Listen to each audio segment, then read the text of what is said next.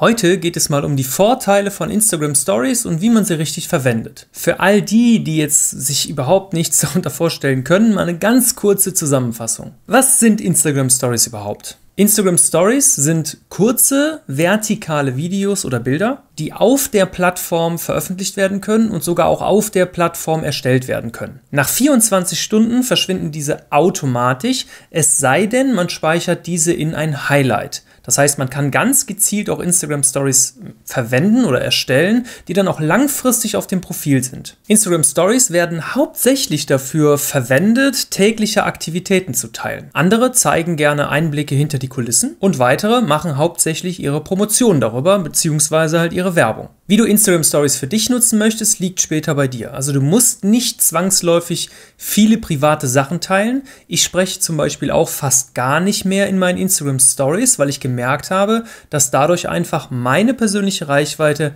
etwas schlechter wird, was aber nicht bedeutet, dass Sprechen grundsätzlich schlecht ist, denn auch eine etwas schlechtere Reichweite kann grundsätzlich erstmal gut sein. Es hört sich paradox an, aber wenn du jetzt die ganze Zeit sprichst und sprichst, baust du zu den einzelnen Menschen natürlich sehr viel Vertrauen auf und dadurch, dass diese Menschen sich dann an dieses Format gewöhnen, wird Instagram irgendwann auch bemerken, das scheint ja cool zu sein hier und es mehr deiner Follower wieder anzeigen. Denn, und da muss ich ganz kurz am Anfang nochmal so einen Mythos basten, es ist nicht so, dass wenn mir jetzt jemand folgt, er auch automatisch später meine Story guckt. Ich habe zum Beispiel 100.000 Follower, knapp darüber, und es gucken im besten Fall, im besten Fall 8.000, 9.000 Leute meine Story. Im Schnitt ist es eher noch darunter. Und das ist völlig normal. Mit 9% oder 8% in der Spitze bin ich schon wirklich, wirklich weit, weit vorne in der Story Viewer. Also ich habe Leute, die haben das mit einer halben Million Viewer nicht. Also die haben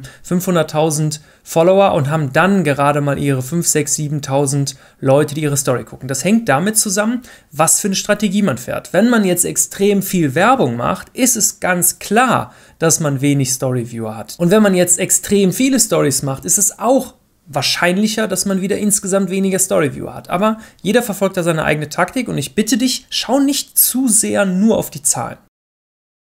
Was sind jetzt die eigentlichen Vorteile von einer Instagram Story? Der Hauptvorteil ist wahrscheinlich die Steigerung der Sichtbarkeit, denn einen Beitragspost, den sieht man einmal kurz im Feed und dann war's das. Eine Story kann man theoretisch mehrfach am Tag machen und immer wieder dem Follower ja sozusagen aufploppen. Du kannst also ganz klar deine Sichtbarkeit und auch deine Reichweite kurz- und langfristig mit Instagram Stories pushen. Denn Instagram Stories werden in dem oberen Bereich angezeigt und da sind halt mehrere direkt nebeneinander, das scrollen die Leute auch gerne durch und manche Leute gucken sich halt wirklich von der ersten Instagram Story von irgendeinem Konto bis zum letzten Konto über den Tag fast alle Stories an. Und somit bekommst du halt mehr oder weniger automatisch auch Reichweite auf deine Stories. Wenn die dann noch gut sind, dann kommt der Zuschauer natürlich gerne irgendwann extra wegen deinen Stories dahin, beziehungsweise wenn er lange auf deinen Stories bleibt, dann wird dein Kreis oben bei Instagram immer weiter vorne angezeigt. Sobald der Follower dann online kommt, sieht er höchstwahrscheinlich zuerst deine Story. Und je höher deine Reichweite in der Story ist und je eher die Menschen daran gewöhnt sind, bei dir irgendwie zu interagieren, Je eher, falls du ein Unternehmer bist, kannst du dort auch Produkte verkaufen. Und das wird auch wichtig für Influencer. Denn wenn du irgendwann mal eine Kooperation hast und du machst alle vier Monate zum Beispiel eine Kooperation in deiner Story, dann wird diese Kooperation wahrscheinlich eine absolute Katastrophe, weil du gar nicht dein Zuschauerpublikum daran gewöhnt hast, dass bei dir halt ab und an mal Werbung kommt. Und dann schalten alle weg und dann wirst du merken, dann hast du vielleicht noch 10, 15, 20 Prozent deiner Story-Viewer, die du einen Tag davor hattest. Keine Panik, am nächsten Tag oder einen Tag darauf ist es meistens wieder reguliert. Wenn du merkst, deine Storyviewer fallen extrem, dann mach mal für 24 bis 48 Stunden gar keine Stories, dann hat sich das meistens wieder erledigt. Der zweite Vorteil von Instagram Stories ist die Interaktion mit deinen Followern. Denn deine Instagram Story bietet deinem Follower eine direkte Möglichkeit, mit dir zu interagieren, dir zu schreiben, dir, keine Ahnung, auf deine Fragesticker zu antworten, bei einer Umfrage mitzumachen und, und, und. Du kannst dort eine wahnsinnig enge Beziehung zu deinen Followern aufbauen. Alleine dadurch, dass du sie immer mal wieder was fragst. Vielleicht auch mit dem Fragesticker und dann auch diese Antworten ab und zu mal teilst. Das kann man natürlich nicht komplett machen. Wenn ich einen Umfragesticker mache und dann ein Frageding, dann habe ich da hunderte Nachrichten. Die kann ich natürlich nicht alle in der Story teilen. Aber alleine, dass die Menschen mal ihren Senf dazu abgeben können, verleitet viele dazu, das auch zu machen. Und je mehr Interaktionen deine Story hat, je mehr wird Instagram das deine Story weiter nach vorne setzen bei den Leuten, die interagiert haben, aber auch bei Leuten, die dich vielleicht länger nicht gesehen haben. Du musst mal ganz, ganz nach hinten durchscrollen. Wenn du jetzt zum Beispiel 200 Leuten folgst, ganz hinten durch, wer kommt als letztes bei dir? Das sind meistens Leute, die entweder gerade Werbung machen oder wo man nicht interagieren kann. Bei meinen Stories kannst du in der Regel immer interagieren. Du hast also entweder einen Fragesticker, wo du draufklicken kannst, ja oder nein, du kannst mir antworten, du kannst mir schreiben. Ich trigger das extra. Denn je eher ich das trigger, je mehr Aufrufe bekomme ich auch. Punkt Nummer drei ist die Erhöhung des Gesamtengagement. Instagram Stories bieten dir eine Möglichkeit, dass der Follower eine engere Bindung zu dir aufbaut. Denn wenn er häufig mit dir interagiert und du machst jeden Tag eine Story, also interagiert er jeden Tag mit dir, wird er auch deine Feedbeiträge viel eher sehen und natürlich auch langfristig deine Story. Das heißt, das Engagement, das er dann täglich abgibt, auch wenn es nur guckt, gucken, also deine Story anschauen komplett, ist ja auch ein Engagement. Das sorgt dafür, dass dieser oder diese Person, dieser Follower deinen Beitrag, deinen nächsten Beitrag immer wieder und wieder ausgespielt bekommt. Das nennt sich sozusagen Beziehung. Je stärker die Beziehung zu dem einzelnen Follower ist, je eher steigt deine Reichweite auch langfristig. Und du kannst jetzt sogar in deiner Story auch noch Hashtags und Standort-Tags teilen. Und das bei dem Standort ist super spannend. Also du kannst ja oben dann, wenn du auf dieses kleine Viereck klickst, einen Standort-Tag auswählen und da irgendwo reinschreiben, wo du gerade bist. Und die Standorte selber haben mittlerweile wieder eine Story. Und jetzt stell dir mal vor, du bist gerade irgendwie in Köln, machst einen Standort-Tag zu Köln dann können das alle sehen, die gerade nach Köln sozusagen googeln, äh, also bei Instagram suchen. Äh, nicht googeln, sondern bei Instagram suchen. Und jeder von diesen kann dann theoretisch auf deine Story kommen, jeder von diesen Menschen. Und das erhöht teilweise drastisch deine Reichweite. Also verwende auf jeden Fall jedes Mal ein Hashtag und ein Standort-Tag. Ein Hashtag bringt aktuell nicht viel, aber mach's einfach mal. Schaden tut's ja auch nicht. Du kannst die auch verkleinern oder verstecken, in eine Ecke ziehen oder sonst was.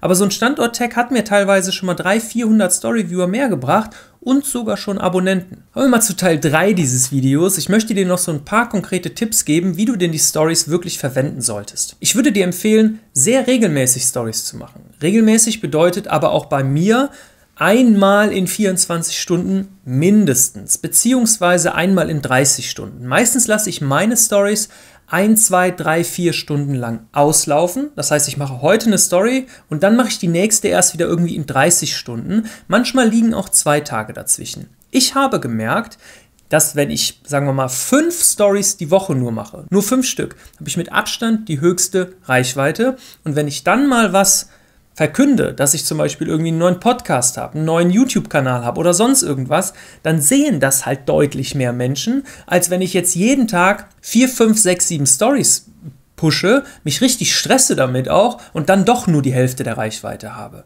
Du musst das aber für dich entscheiden. Wenn du viel mitzuteilen hast, dann teil viel mit. Es wird erstmal so kommen, dass deine Reichweite dann in den Keller geht. Wenn du das dann aber sehr gut machst, steigt sie langfristig sogar noch viel, viel höher, als wenn du relativ wenig da bist. Das hat was mit so einem Prinzip zu tun, je öfter man jemanden sieht, je eher mag man den. Also versuch schon, regelmäßig dort zu sein. Die Story ist meiner Meinung nach fast wichtiger als der Feed-Post für deine bestehende Community sowieso, aber auch für langfristiges Wachstum. Denn was du halt nicht siehst, ist, wenn die Menschen dich weiterempfehlen, in WhatsApp-Gruppen, in sonst irgendwas. Klar, sie schicken deine Beiträge weiter, aber dann kommen die Leute auf dein Instagram-Profil und dann gucken sie meistens eine Story.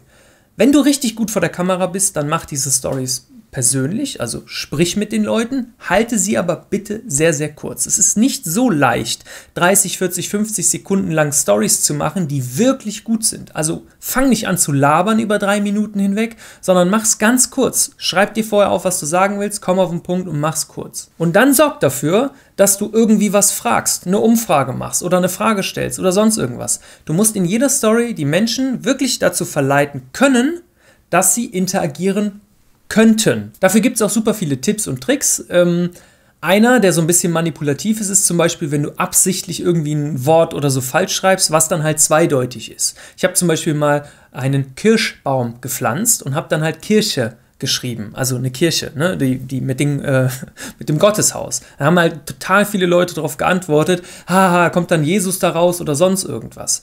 Das war Absicht in dem Moment, weil es klar ich wollte es halt auch mal testen, aber es steigert enorm deine Interaktionsrate, weil du kriegst dann halt 40, 50, 60 Nachrichten, also jetzt in meinem Fall, nur deswegen, weil die Leute sich dann halt mitteilen möchten. Punkt Nummer zwei ist, diese ganzen Reaktionen rufst du am besten damit hervor, indem du diese ganzen Sticker benutzt. Also äh, Ja-Nein-Sticker oder ähm, wo man halt mehrere Antworten eintragen kann. Also generell der Umfragesticker oder der Fragensticker, wo Leute was reinschreiben können. Dieser Slide-Sticker, den würde ich als drittes nehmen, weil da müssen die Leute schon fast mehr machen, als nur zu tippen. Bei mir klappt dieser Tipp-Sticker sehr, sehr gut oder auch dieses Emote, äh, wo du dann draufklickst und dann kommt so eine Animation von Herzchen oder sonst irgendwas. Du kannst bei deiner Instagram Story auch extrem kreativ werden. Es gibt Menschen, die geben sich richtig viel Mühe für ihre kleinen Kurzvideos. Du kannst sie zum Beispiel auch vordrehen auf so einer Kamera hier und die dann später einfach hochladen. Weil grundsätzlich ist eine Instagram Story auch nichts anderes als so ein kurzes Reel. Und wenn du halt so ein paar Statements zum Beispiel sowieso als Zitate postest, könntest du die auch einfach mal an einem Tag alle aufnehmen und dann, ja, hintereinander, also wie gesagt, du musst ja nicht mehrfach am Tag, sondern jeden Tag mal ein so ein Zitat posten oder auch nur einmal die Woche. Wenn du dich ab und zu mal persönlich zeigst, ist das wirklich ein riesen Gamechanger. Viel mehr gibt es bei der Instagram Story nicht zu sagen. Es gibt natürlich noch tausend Sachen, auf die man achten kann. Zum Beispiel, dass wenn du jetzt eine Story machst, dass die Beleuchtung gut ist, dass man dich gut versteht, dass kein Dreck im Hintergrund ist oder sonst irgendwas. Weil du hast eine gewisse Branding-Maßnahme auch in der Story. Die Leute nehmen viel wahr, also viel, viel mehr, als man selber denkt. Und wenn man durch so eine durch so eine Wohnung läuft, die halt zum Beispiel total unaufgeräumt ist oder so, die Leute nehmen das schon wahr. Und wenn du als Experte oder als Influencer irgendwann mal arbeiten möchtest, dann erwartet man so ein paar gewisse Sachen von dir. Natürlich darfst du unordentlich sein in deinem Leben, ist ja überhaupt kein Problem. Du musst es aber ja nicht jedem zeigen. Es gab schon so Momente, wo ich mit Leuten, also so geskypt bzw. gezoomt habe und ich habe dann halt gesehen, dass bei denen alles irgendwie schmutzig ist und die wollten halt als Experte wahrgenommen werden. Und so kannst du nicht in einen Call gehen und so solltest du auch in deiner Instagram-Story zumindest ein bisschen auf deine Wahrnehmung achten. Bei mir ist es zum Beispiel aktuell so, ich lasse meine Haare wachsen, das sieht man hier dran, deswegen trage ich immer immer eine Mütze. Normalerweise würde ich gar keine Mütze tragen, aber meine Haare sehen im Moment so verrückt aus, deswegen mache ich das lieber so. Mütze ist auch Branding. Weil das ist so ein, ne, jeder verbindet was anderes mit so einer Cappy irgendwie, aber ich bin jetzt kein typischer Business Coach mehr, nur weil ich die Cappy trage. Und so kannst du die Wahrnehmung ein kleines bisschen auch verändern. Nutze auf jeden Fall deine Instagram Story, die ist super, super viel wert. Wenn du jetzt noch wissen möchtest, wie du überhaupt erstmal Follower bekommst, damit Leute überhaupt deine Instagram Story sehen, ich habe dir hier mal ein Video gemacht mit 35 Methoden, wie du effektiv einen Follower heutzutage gewinnst. Viel Spaß dabei und wir sehen uns dann da. Haut rein, bis dann, euer Sebi Force. Ciao.